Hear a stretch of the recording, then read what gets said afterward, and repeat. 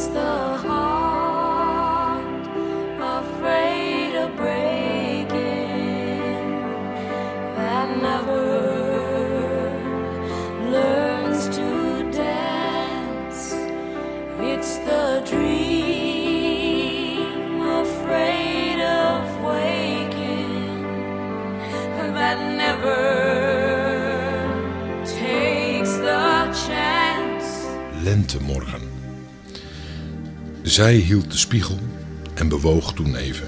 Het hoofd in zacht gewiegel, want gedachten die haar lippen tot een glimlach samenbrachten, waren uitgevlogen. En een beven van verwachting had haar hart zozeer bevangen dat ze nauwelijks scheen te leven. Anders dan een licht bewogen, vroeg ontloken voorjaarsbloem.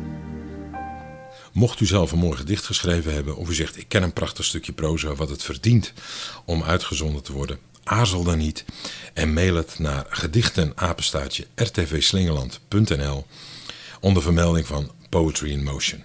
En ik hoop u volgende week weer te kunnen boeien of ontroeren met prachtige gedichten en mooie muziek.